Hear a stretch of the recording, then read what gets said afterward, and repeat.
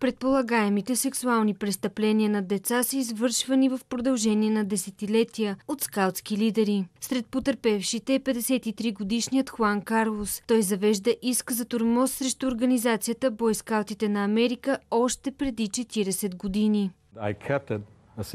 Това напълно промени живота ми. Пазех го в тайна и не исках да говоря за това, защото беше унизително за мен.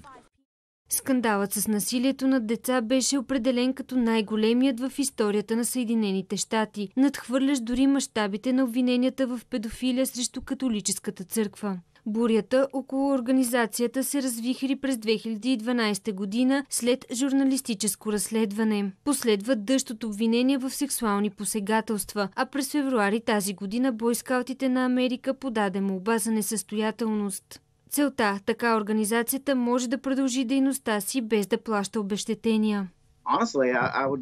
Бих искал хората да знаят, че всичко е наред, ако говорят. Всичко е наред да се изправят и да разкажат. В официална позиция организацията изрази дълбокото си съжаление към жертвите и преживяното от тях.